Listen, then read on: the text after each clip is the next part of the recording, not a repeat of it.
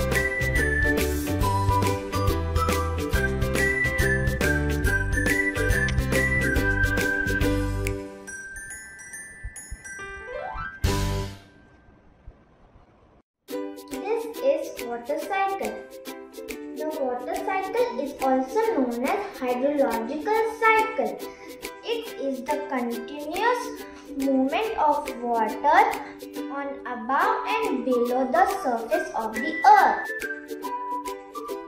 The sun heats up the water from ocean, lakes and rivers and water changes into water vapor by the process of evaporation. Plants also lose water in the form of water vapor from the leaves into the air by the process of transpiration. As water vapor rises up into the air, it starts cooling down and forms tiny water droplets. These water droplets come together to form clouds. This process is called condensation. When the cloud starts getting heavy and cannot hold water droplets anymore, they fall back on the earth in the form of rain, hail, or snow. This process is called precipitation. Some water that falls on the earth seeps into the ground. This water is available to us in the form of groundwater. The remaining water falls back on the oceans, seas, lakes, and rivers. This process is called collection. Then the sun start heating up the water once again. This circulation of water is called water cycle. So this is the process of water cycle. Thank you.